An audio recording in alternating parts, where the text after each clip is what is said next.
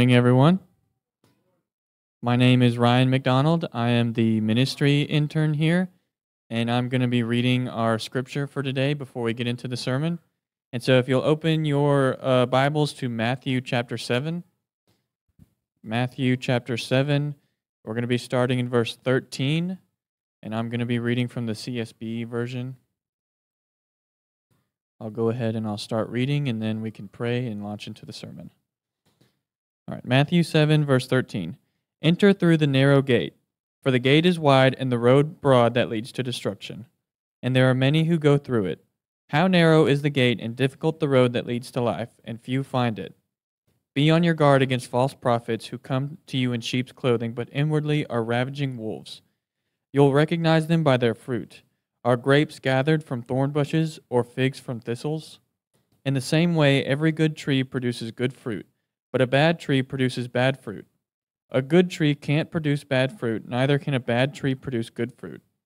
Every tree that doesn't produce good fruit is cut down and thrown into the fire. So you'll recognize them by their fruit. Not everyone who says to me, Lord, Lord, will enter the kingdom of heaven, but only the one who does, does the will of my Father in heaven on that day. In many, okay, sorry, I lost my place. Lord, Lord, didn't we prophesy in your name, drive out demons in your name, and do many miracles in your name? Then I will announce to them, I never knew you. Depart from me, you lawbreakers. Therefore, everyone who hears these words of mine and acts on them will be like a wise man who built his house on the rock. The rain fell, the rivers rose, and, and the winds blew and pounded on the house. Yet it didn't collapse, but its foundation was on the rock. But everyone who hears these words of mine and doesn't act on them will be like a foolish man who built his house on the sand. The rain fell, and the rivers rose, and the winds blew, and pounded that house, and it collapsed. It collapsed with a great crash. When Jesus had finished these, saying these things, the crowds were astonished at his teaching, because he was teaching them like one who had authority, and not like their scribes. All right, please pray with us. Dear Heavenly Father, thank you for this day. Thank you so much for these words, God, that you have spoken to us. I just pray asking, Lord, that you would open our hearts, open our eyes and ears, God, to receive what it is that you have for us in this text. We love you and we thank you so much. It's in Jesus' name we pray. Amen. Thank you, Ryan. Ryan did a great job last week uh, with our scripture. Looking forward to having him speak again.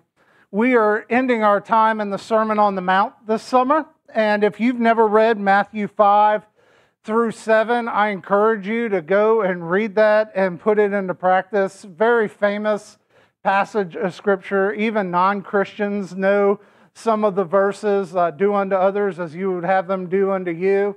Um, I love what um, R.T. France says about these. He says, The teaching of the Sermon on the Mount is not something to be simply admired, it's to be obeyed.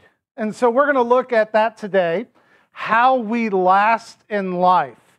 And uh, that's our topic today, the lasting life. And our big idea is a question. It says, the lasting life is a choice. The lasting life is a choice. Now, what I mean by lasting is persevering, is persevering to the end. Anybody watch Olympics? Anybody? Anybody watch any of the Olympics? You know, it's the time four times a year we care about swimming. Y'all know what I mean? You know, with those Olympic sports, you never watch, but when they're on, you watch them. And uh, we've been watching some swimming. We've been watching uh, yesterday, they had the track and field and some other things like that. And for some reason, the Americans, like, we, we win gold, but like for some reason, that we're about to win gold and then somebody passes us at the end. Like, that just keeps happening over and over and over. I don't know that we lead the gold medal count, I don't think right now. Uh, we lead the total medal count, but it got me thinking about endurance because you know you could race a really good race but if you don't finish you don't win the prize. And so that's what when we talk about what does it mean to follow jesus i, I know some people have talked about this concept of once saved always saved or losing your salvation. What does that look like? Here's the deal. Those who follow jesus will endure.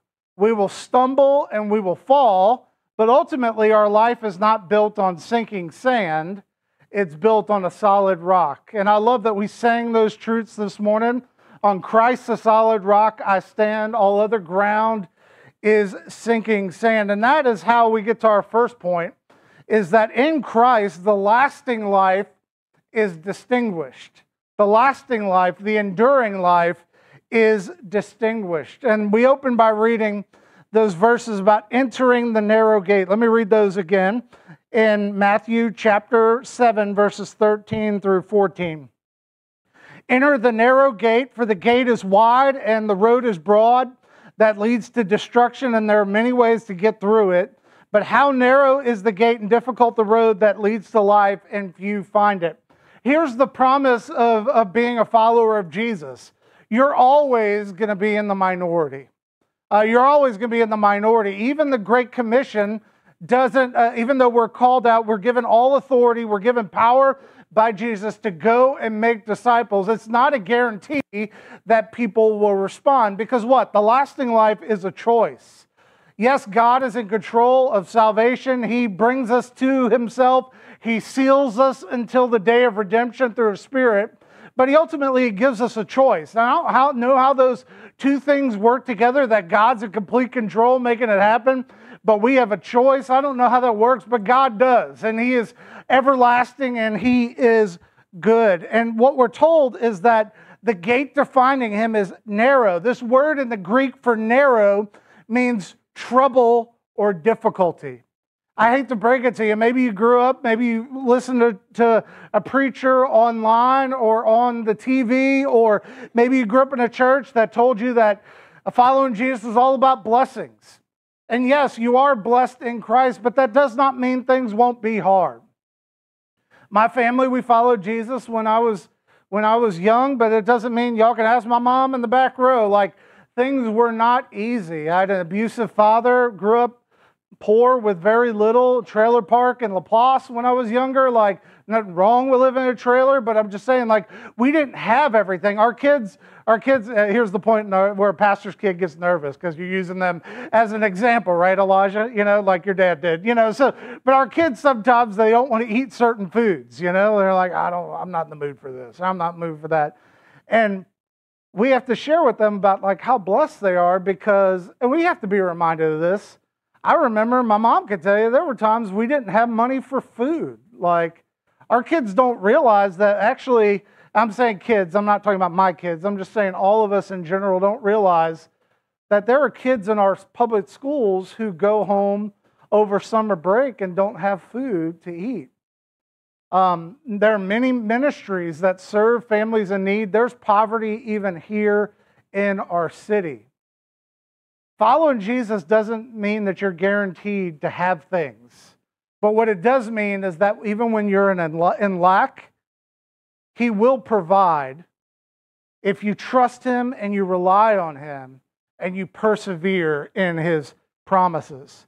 So the word narrow there in the Greek means difficult or troubling. The word broad, broad is the way that leads to destruction. The word broad means prosperous. Y'all get how false it is when someone, some false teacher, like we'll talk about here in a moment, guarantees that following Jesus will bring you prosperity. That's the broad way, that's the popular way. Following Jesus does not mean you will have everything. Not everything you want, but you will have everything you need, which is Him. And that's why we're told to be on guard. If the lasting life is going to be distinguished, we're supposed to be on guard, to be alert, to be watchful against wolves is what, is what he calls them false prophets, false teachers. Maybe you've heard these verses before about not everyone that says to me, Lord, Lord, shall enter the kingdom of heaven. They will say, Haven't I prophesied in your name? Haven't I cast out demons? Have I done all these miraculous things in your name? And then God will reply to them, Depart from me, you workers of lawlessness, you lawbreakers. And I remember as a kid, that scared the snot out of me. I was like, How do I know I'm saved? Like, is, is it a prayer? Like, what does it mean to be saved? The broader context here is not to create doubt. The broader context of what Jesus is sharing is to show us that not everyone who gives lip service is saved. Do y'all know people like that? Like, not everyone who gives lip service is who they say they are. And in fact, we live in a, a city that knows uh, full well about light and darkness. Like, y'all know, people come to our city to go on voodoo tours. You know, it's not something most of us do, but something that tourists do. We live in a, a, dark city. There's a lot of oppression, even out here in Kenner in the suburbs. We, we have it everywhere. But what we know is that darkness is darkness because there's no light. And Jesus said earlier in chapter 5 that we are the light of the world, a city on a hill that can't be hidden. And we're supposed to let our light shine before others so that they may see our good works and give glory to our Father who is in heaven. So, how will we know what is truth and what is light? We're told that we're going to be able to distinguish them by their works. That does not mean the miraculous in the moment. That means when things start to shift and things start to crumble and things start to fall, you really see who they are. We have television. I'm not going to call out any particular church, but we have, we have churches in our region that have vast television ministries. A hurricane hits, they raise money, and you don't hear from them. They do very little. That's why a sister church of ours, good friend of mine, Brandon Langley at St. Rose Community Church, a little small, danky church on St. Rose Avenue, outserved probably anyone in St. Charles Parish after Hurricane Ida. It's because it's not about what you have, it's not about these earthly kingdoms, it's about who you have and who you want to give. That's how this little church, who was just getting started, uh, lost our building even for a year. And that's how this little church was able to serve 10,000 hot meals. Uh, that's how we met Travis and Simona. You know, like 10,000 hot meals over two weekends. How can a group of, you know, 40 or so people do that? Because we serve a big God who knows it's not about all that we have, it's about who we have. And the fact that we who we have, he enables us to, to get things so that we can give, so that more people will know about him. How do you distinguish false prophets? Well, scripture says that we're supposed to not believe every spirit, we're supposed to test the spirits. And the spirits that confess that Jesus Christ is Lord and that he's raised from the dead. You see, a false teacher, a false prophet will be, in, will be inevitably found out when things get rocked and when things go bad. Stuart Weber puts it this way he says, A wolf may get away with his deception for a time but his true nature will become apparent when his hunger forces him to act like a wolf. Let me say that again.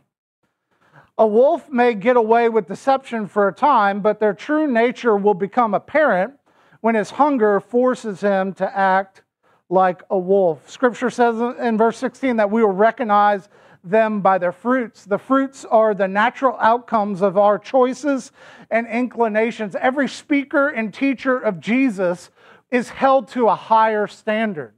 So we have Elijah and we have we have Ryan in here training up to be pastors and and and when uh, uh, actually Ryan hasn't been or he hasn't been ordained yet, right now. So we're going through that process. Elijah went through that process, and one thing I told Elijah when we were about to ordain him, I'll tell you now, Ryan. James three says that not many should become teachers. Why is this? Because you will receive a stricter judgment. In fact, Hebrews 13, verse 17 says, Teachers, leaders in the church are literally keeping watch over the souls of whom they lead. A good shepherd has to have a rod and a staff.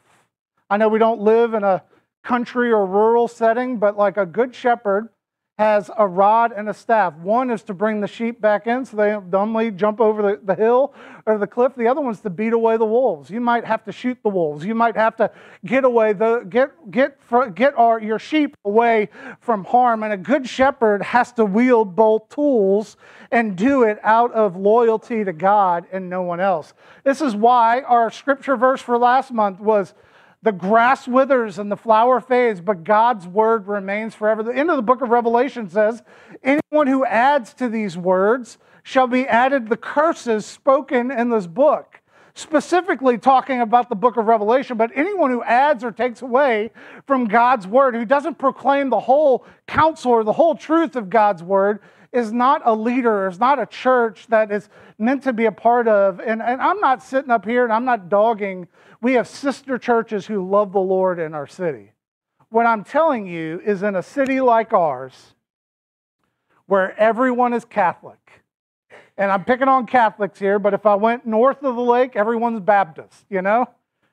In a city like ours where everyone culturally identifies as something, what does it mean to truly be a follower of Jesus? Are you built on what your parents built their lives on? Are you built on what your grandparents built their lives on? Are you placing your hope right now in the rock of Jesus Christ? The lasting life, it's, it's distinguished.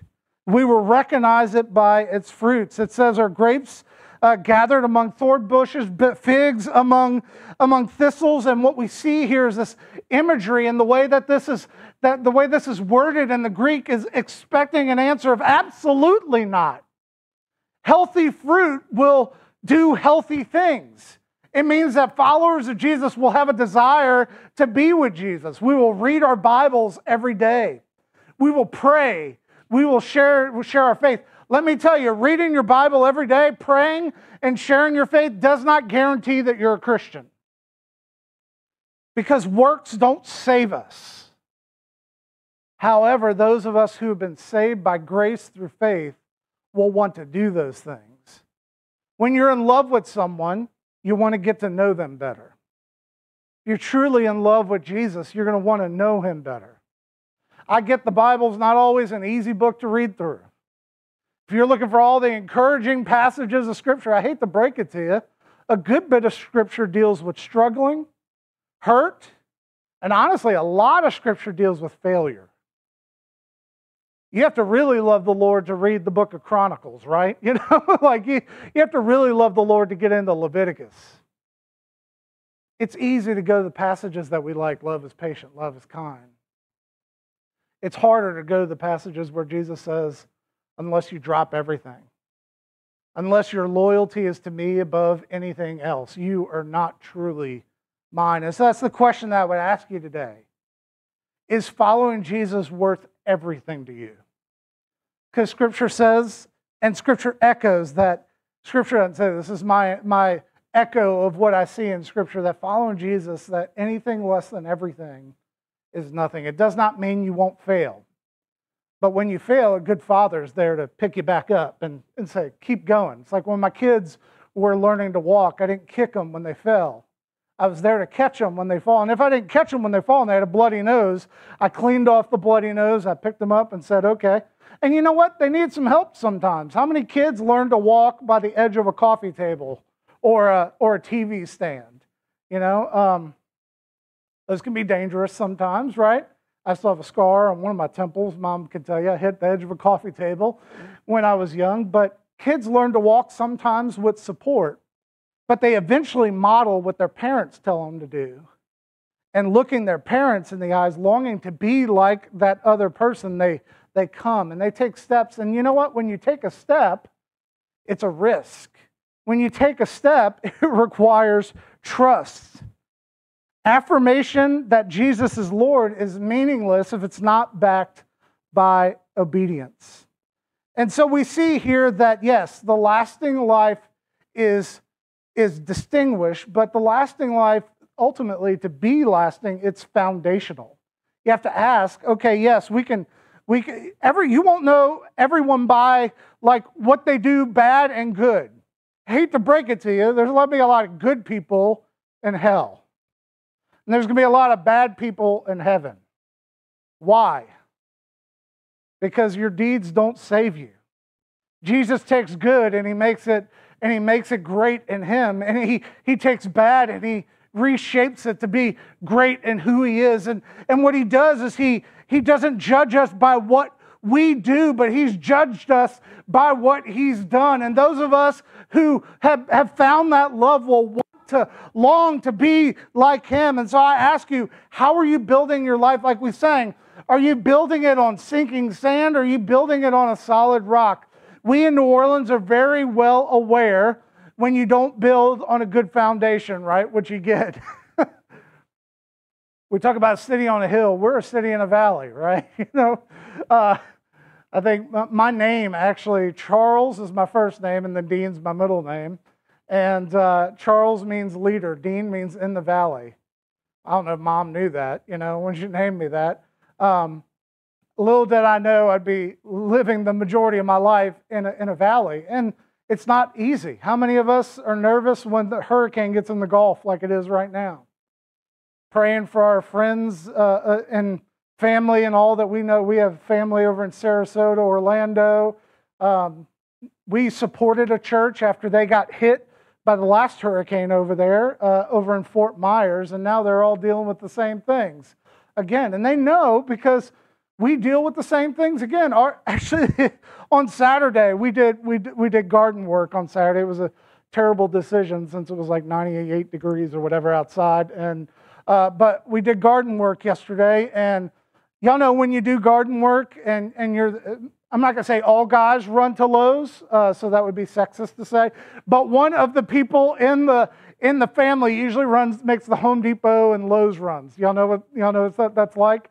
So I, at the beginning of the day, I was like, how many times is this going to take? You know, only only three. I was kind of impressed. But on the third time, actually the second time, Braden was with me, and Braden asked about, Dad, why haven't we had a hurricane lately? And I'm like, why? I mean, why do you care? Like, why? We don't want a hurricane. But it's like, even our kids just know, like, hey, hurricanes come all the time. Praise God, we haven't had a hurricane Ida. I was like, I don't know if Dad can go through another hurricane Ida. After we went through Katrina, I was like, I don't know that we can do another one of those. And for those of y'all that are older than me, you remember Camille and Betsy and all those. I remember the May 8th flood when I was younger. Like all those things. How can we survive these things in a and a bowl like we're, we're sitting in. We survive these things with resilience, knowing that our, li- our life here in Jesus is not ultimately built on nature, it's built on who He is. We can look at our surroundings as an example of why New Orleans may not be here forever. North of the lake might be here a little bit longer because they're higher elevated. They're built on rock. And so what we see is that on Christ, the solid rock, we must stand. And he says at the beginning part of verses 24 through 27, he says, Therefore, anyone who hears these words of mine and acts on them will be like the wise man who built his house on the rock. These words, Jesus is saying that he is, the, he is God. He, he is not quoting any Old Testament prophet.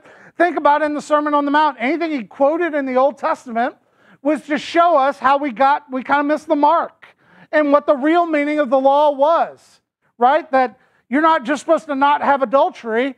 You're not supposed to look upon another with lust in your hearts because then you're having adultery in your heart. It's you're not just supposed to not murder someone. If you're angry with them and you murdered them in your head, how many people murdered somebody this weekend? You know, right? And and if you didn't, you, you may be fibbing because or or you didn't drive. I think we all murder people in our heads when we drive around New Orleans, right? You know, it's it's just uh, you know we're we're we're depraved sinners. But what we see is that it's ultimately not about obedience to the letter of the law with Jesus, it's about obedience to the heart of the law. The letter of the law will play out as we as we build upon the solid rock of who Jesus is. So I would ask you today, will you trust Jesus as God? Will you trust his truth, his words, that they're all true from Genesis to Revelation? We can't take out the, the verses we don't like? Will you trust them all as true, or will you only trust in yourself? As everyone's longing for truth, our world is wired to long for truth. We all want some sort of meaning. We find it in drugs, sex, alcohol, men, women, like jobs. We, we, all want something to give us meaning and purpose, but the only one who can do that is God Himself. Famous theoretical physicist. Anybody ever heard of Stephen Hawking? You remember he died not long ago. He's a guy's kind of he was paralyzed, and Stephen Hawking said this in an interview with Fox News. He said, "This is coming from someone who is an atheist and denied uh, who Jesus was." He says this: "My goal is simple: It's a complete understanding of the universe. You see? Even people who deny God want to have some sort of understanding and meaning of how the cosmos and how everything works together. My goal is a complete understanding of the universe, why it is and why it, why it exists at all. I regard the brain as a computer which will stop working when its components fail. There is no heaven or afterlife for broken down computers like me. These are only fairy tales for people who are afraid of the dark. Y'all know we Christians, we get accused of that a lot in our world, that we make up things to make us feel better, that God is a construct to help us get through a hard life. Here's the thing about Jesus you can't just admire him, you have to obey him.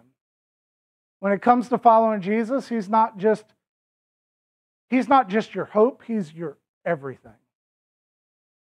When that computer of a brain of yours, I know some of us feel like we have broken computers, but when that computer shuts down, you will experience one of two things. I hate to break it to Stephen, and he's already experienced this reality. You experience eternal darkness or eternal life. Jesus says, I am the way, the truth, and the life. No one comes to the Father except through me. How do we know Jesus is powerful?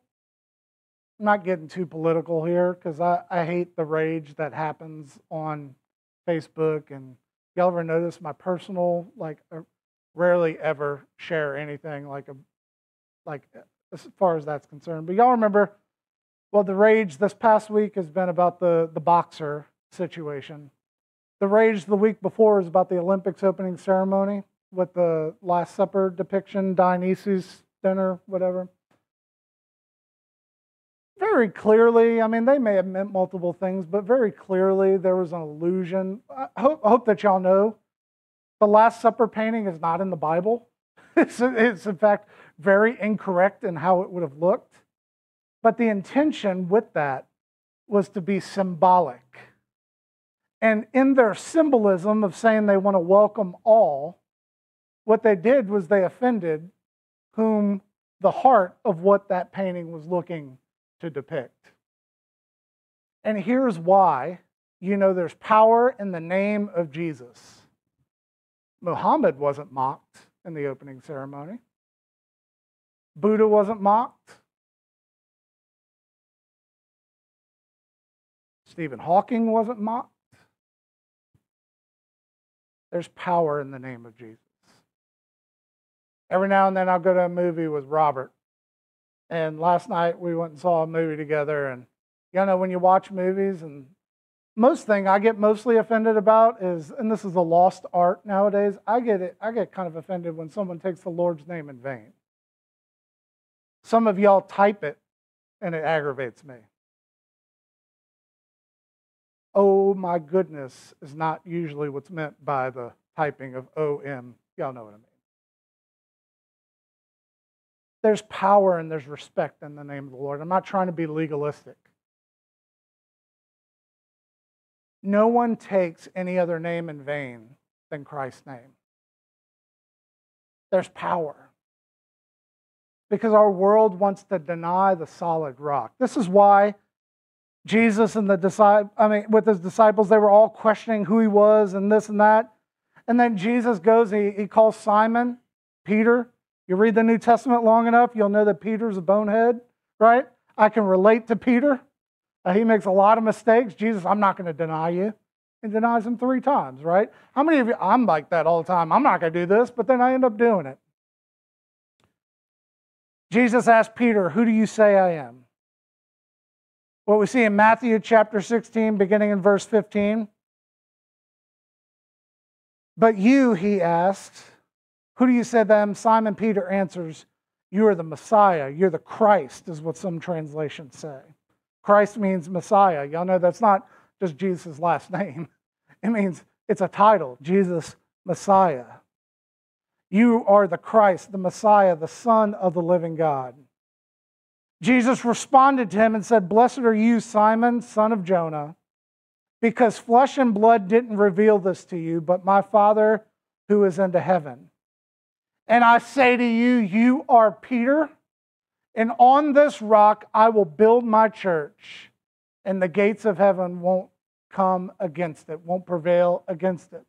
There's a big debate about okay, was, was Jesus saying he was building on Peter? Is Peter the first pope? Is he the first leader of the church? Or is it about the confession that Peter gave? You are the Christ. My cop out, but I think good answer for that is both. Jesus was going to use Peter's solid biblical confession of who he was, and he was going to use Peter as a person, flaws and all, to bring the church about to which we even sit here today. One day we talk about heaven and hell. One day in heaven we'll be meted by some of these heroes of the faith. And we will see that, that they're not just elevated among us, they are like us in that they receive the same grace through faith that we have received. And we'll be able to thank Peter for everything that he was able to do. Can you imagine, talk about lasting life? Can you imagine when your son or your daughter, your grandson, maybe your great, great, great, great, great grandchildren, when they meet you in eternity, they thank you for the faith that you laid down for them?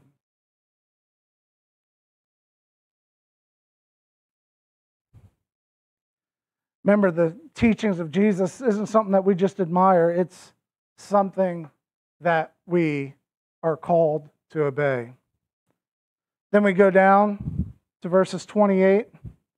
I'm going to read through chapter 8, verse 1. It says, When Jesus had finished saying these things, the crowds were astonished. The word in the Greek for astonished means that they were overwhelmed. They were overwhelmed to the point of action. They weren't just admiring who Jesus was, they experienced who Jesus was, and they wanted to do what Jesus said to do.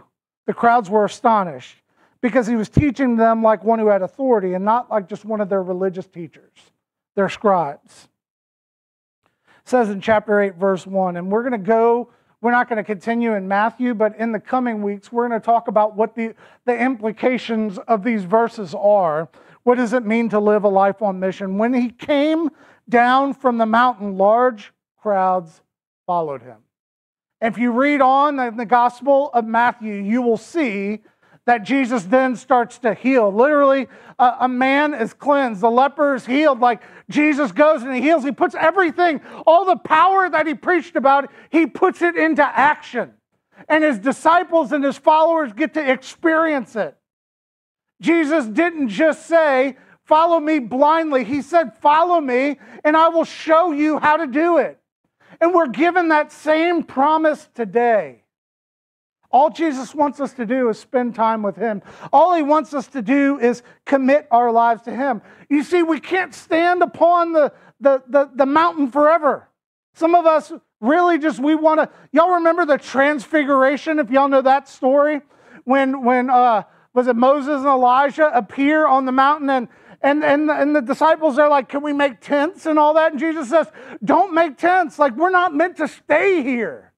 There is work to do. You've got to get off your, your high horse, off the mountain, and you've got to go down into the valley. And the valley hurts. The valley takes effort. The valley's hot. We know the valley's hot, right? The valley's hot, right? It takes a lot of work.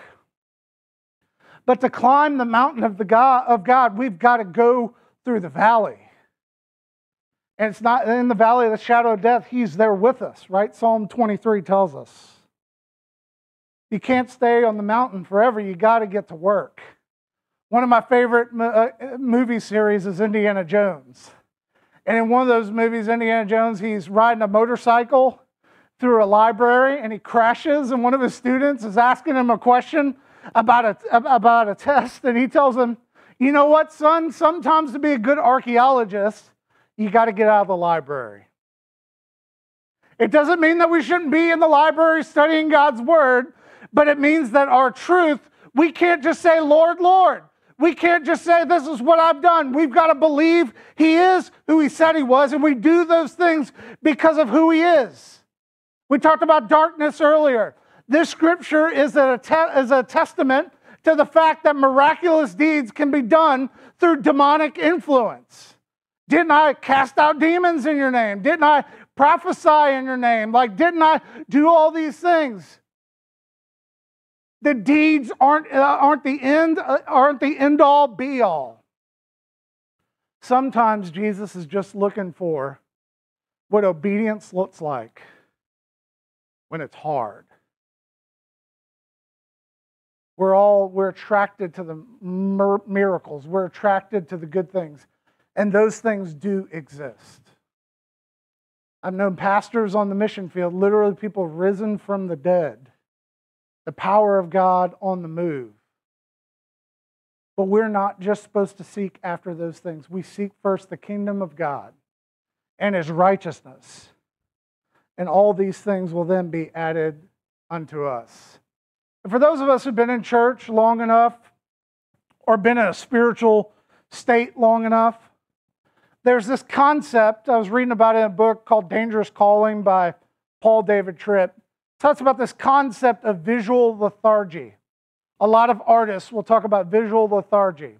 What it means is that when you see the same thing over and over without really taking time to ponder it, you, you, you pass by without little notice the way that concept can be in play is that you don't really care half the time, like all the nuances of the way your home looks. But people are coming over and you look with new eyes, right? You look, where's that? Where's that trash that my kids left out? You know, like where where's that where'd the dog, you know, scratch the wall? Like where your visual lethargy is when you get so used to something that you're not affected by it. Let us never get so used to following Jesus that we come bored with, with what he's called us to do. May we be people who long after him each and every day. May we, be a, a, may we build our lives on a lasting foundation, a confession of who he is. Just like Peter confessed that he was the Christ, may we build upon that truth and may we do what he has called us to do. And I'll close with this. Greg Laurie has an awesome book uh, called Tell Someone. It's talking about telling and showing people about Jesus. It said, it's been said if there's one thing that believers and non-believers have in common, is that they're both uptight about evangelism. If you don't know what evangelism is, it means telling people about Jesus. If there's one thing that both believers and unbelievers have in common, is they're both uptight about telling people about Jesus. For many, the Great Commission, which is to go and make disciples, has instead become the Great Omission. Clearly, God could reach people without us, but instead, He has chosen to work through us. In fact, and I, I got to say amen to this, in fact, He seems to always go out of His way to find the most unlikely candidates to accomplish his divine purpose. You don't need to be the perfect person because he is. Will you follow him today? Will you build your life on him? Will you follow him down from the mountain into the valley and get to work? Seeing the miracles of salvation, seeing the healing of the spirit and the soul, who do you know where you live, work, eat, and play that needs that hope today? Who needs to build on the lasting, foundational rock? Let's pray. Lord, we thank you so much for who you are. God, I, I thank you as we as we really think about the lasting life being a choice. God, I thank you that we get to ponder this question of will we follow Jesus today? Will we follow you today? Will we give you everything? Because, Lord, we know that anything less than everything is nothing. Jesus, you know that I'm not perfect. You see me when no one else sees me. But, Jesus, you know I love you. And you know I'm committed to you. And, God, I pray that every person here in this room today would commit themselves in the same way. God, help us to build our lives upon that truth that hope and that promise that you are Christ, you are Messiah, you are our Savior. Help us to follow you. It's in your name that we pray. Amen.